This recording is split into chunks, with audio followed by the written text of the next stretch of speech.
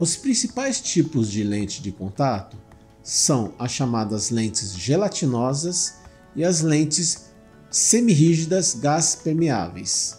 No caso das lentes gelatinosas, elas podem ser descartáveis ou de uso permanente.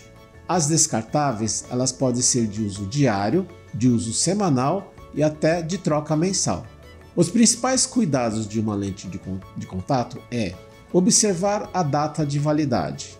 Nos casos das lentes descartáveis, de uso mensal ou diário, você não deve prolongar o uso acima do que é recomendado. Outra dica é você armazenar e higienizar essas lentes com os produtos que são recomendados.